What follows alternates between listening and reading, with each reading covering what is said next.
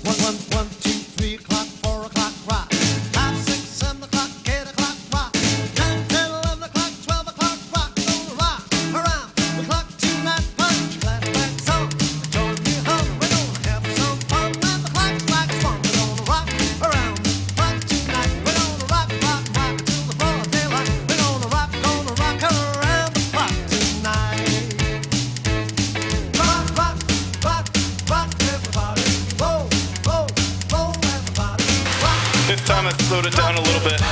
Didn't try repping it together like I did last time. I just did singles and let them drop. I cut a minute and a quarter off my time, which I feel is uh, pretty decent.